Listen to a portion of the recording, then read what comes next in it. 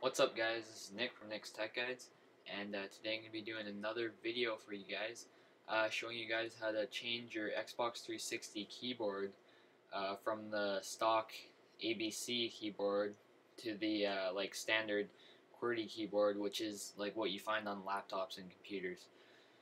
Uh, so basically all you want to do is go to My Xbox, go all the way to System Settings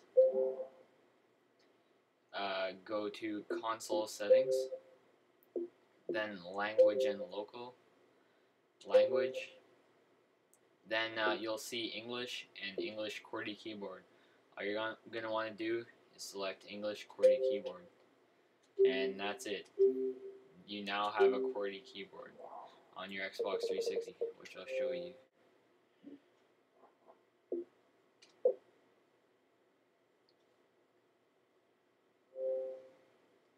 And there you have it, QWERTY keyboard.